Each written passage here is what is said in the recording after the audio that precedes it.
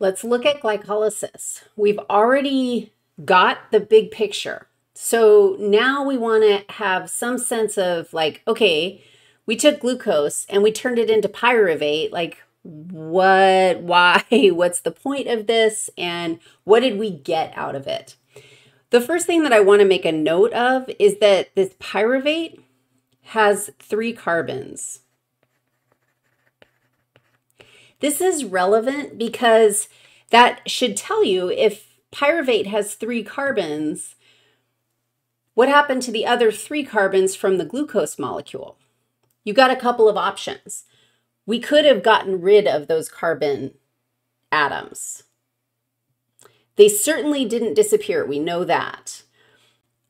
And in fact, we didn't get rid of them. They didn't disappear. We could have breathed them off in carbon dioxide, but that doesn't happen during glycolysis. And in fact, one glucose molecule becomes two pyruvate molecules. So every time you say what happens with pyruvate, you have to know, are you talking about one pyruvate or are you talking about two pyruvates? Because two pyruvates enter this whole process.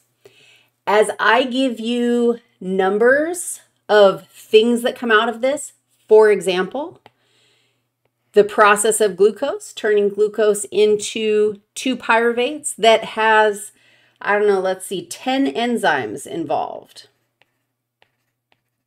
which means there's at least 10 chemical reactions taking place, 10 places where molecules bind, starting with glucose.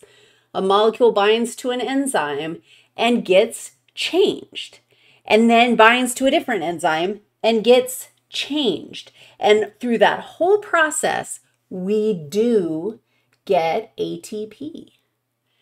Some of the energy in the glucose molecules is captured and stored in ATP.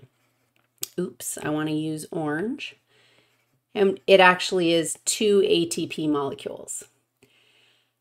I'm going to push, I'm not pushing pause, I'm pushing brain pause to show you this chart that I've created that is one place where you can summarize all the stuff you got to keep track of in all four of the stages of cellular respiration that we're looking at. And now we know that we can actually fill in under the glycolysis column that we get two ATP molecules out of this process. The other thing that we are going to keep track of, and this is glorious, is that we're going to end up with two electron cars. Two of those puppies. And I'm going to start right now and show you where are they headed. They're going to like take a road to the electron transport chain. Two of those guys. And we will see they're rich we like them. We the more of those things we create, the more ATP we're going to get. So, that's it. We don't get any water out of this. We don't get any carbon dioxide, which if you had to guess, could you have figured that out? Cuz we had 6 carbons going in in glucose and 6 carbons coming out because we get two pyruvate molecules. This whole thing, glycolysis, takes place in the cytoplasm. And it's probably a good idea for me to make note that the process of cellular respiration that I am describing is what happens in a eukaryotic cell. So any cell that has a mitochondrion is the cell that we're describing here. These processes, cellular respiration does happen in prokaryotes who don't have mitochondria, but the locations are different with prokaryotes. I still find it helpful to choose one and focus in on it. So we're going to choose the eukaryote. We're going to focus in on where things happen in a eukaryote.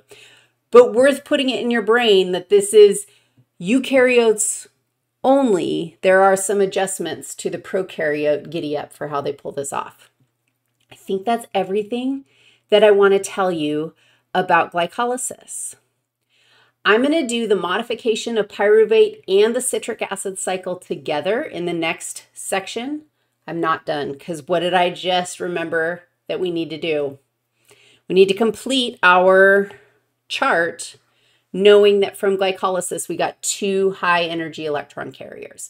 We got some cars from glycolysis. Yes. Okay, let's go see how many cars and cool things we get out of pyruvate modification and citric acid cycle.